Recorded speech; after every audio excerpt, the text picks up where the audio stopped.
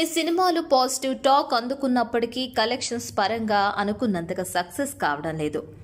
ముఖ్యంగా ఈ మధ్య వచ్చే తెలుగు సినిమాలలో భారీతనం ఉంటుంది కానీ భారీ హిట్లయితే ఉండడం లేదు. కేవలం పెద్ద హీరోలదే కాదు చిన్న హీరోలది కూడా ఇదే పరిస్థితి. పెద్ద హీరోలలో స్టార్ హీరోల సినిమాలు సైతం బాక్స్ ఆఫీస్ వద్ద ఊహించినంత లాభాల్ని అందుకోవడం లేదు. ఏదో విధంగా ప్రమోషన్స్ చేసి సినిమాలో ఏదో విషయం ఉంది అని నమ్మించి భారీ అమౌంట్స్ బయ్యర్స్ డిస్ట్రిబ్యూటర్స్ దగ్గర లాగే ప్రయత్నం చేస్తున్నారు ప్రొడ్యూసర్స్ అందుకే ఎక్కువగా బయ్యర్స్ డిస్ట్రిబ్యూటర్స్ నష్టపోతున్నారు. మొత్తంగా ఇటీవల విడుదలైన సినిమాల కలెక్షన్స్ పై ఓ లుక్కేద్దాం ముందుగా మా సోషల్ పోస్ట్ ఛానల్ని సబ్స్క్రైబ్ చేయండి. అలాగే బెల్ ఐకాన్ పై క్లిక్ చేయండి. ఎందుకంటే ఈ సినిమాలన్నీ హిట్ అనే చెబుతున్నారు. కానీ డిస్ట్రిబ్యూటర్లకు మాత్రం నష్టాలని మిగిల్చింది. Gang leader Nani Vikram K Kumar కాంబోలో వచ్చిన ఈ సినిమా థియేట్రికల్ వాల్యూ ముప్పై కోట్లు షేర్స్ ఇరవై పాయింట్ తొమ్మిది మూడు కోట్లు. సైరా ప్రీ రిలీజ్ బిజినెస్ రెండు వందల ఇరవై కోట్లు కాగా వచ్చిన షేర్స్ నూట నలభై కోట్లు. ఈ సినిమా ఈ ఇయర్ బిగ్గెస్ట్ డిజాస్టర్ చిత్రంగా నిలిచింది. అటు డిస్ట్రిబ్యూటర్లకు ఇటు నిర్మాత రామ్ చరణ్కి భారీ నష్టాలని మిగిల్చింది. వార్ జోకర్ మధ్య ఈ సినిమా హిందీలో కూడా నలిగిపోయింది.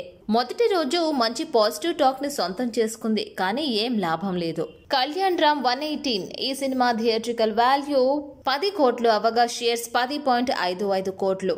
రాజుగారి గది త్రీ థియేట్రికల్ వాల్యూ నాలుగు కోట్లు షేర్స్ ఆరు కోట్లు.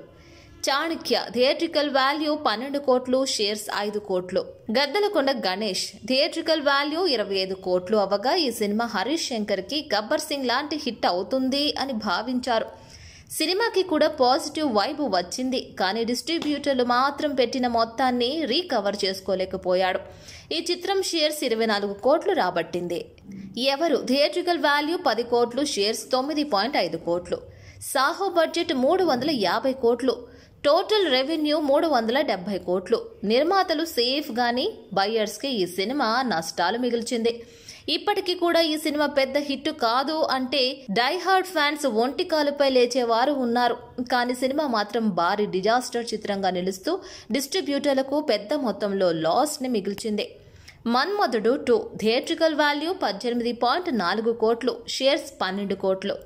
రాక్షసుడు. థియేట్రికల్ వాల్యూ పన్నెండు పాయింట్ మూడు కోట్లు షేర్స్ పదమూడు కోట్లు. రాక్షసుడు కూడా బెల్లంకొండ సాయి శ్రీనివాస్ కెరియర్లోనే బిగ్గెస్ట్ హిట్గా పరిగణించారు. కానీ తీరా చూస్తే కలెక్షన్లు స్వల్ప లాభాలని మిగిల్చింది.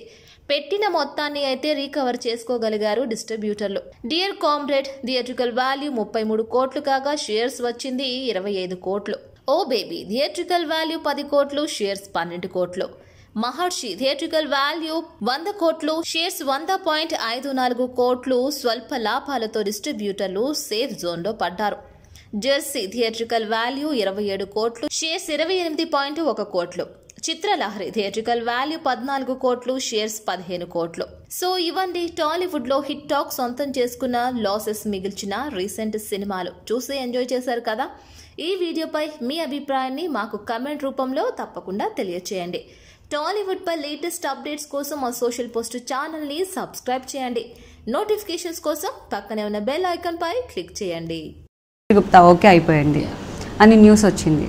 తర్వాత మిమ్మల్ని తీసుకోలేదు. మీరు ఢిల్లీ వరకు వెళ్ళారు.